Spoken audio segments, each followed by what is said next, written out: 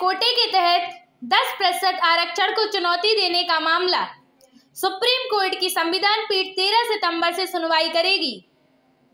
SC ने सुनवाई के लिए पाँच दिन का समय तय किया। एससी ने कहा, जो राज्य मामले में पक्ष रखना चाहते हैं, उन्हें मौका दिया जाएगा। याचिकाकर्ताओं ने कहा कि उनको जिरह करने के लिए सत्रह घंटे का समय लगेगा।